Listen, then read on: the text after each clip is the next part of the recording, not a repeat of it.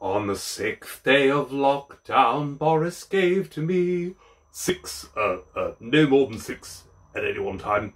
Only six, possibly more, uh, unless, uh, um, um, unless, um, uh, uh, six or thereabouts, approximately. Five toilet, hang on, four, five toilet rolls, four face masks, three soggy tea bags, two smelly socks, and a packet of value spaghetti. You're enjoying this, aren't you?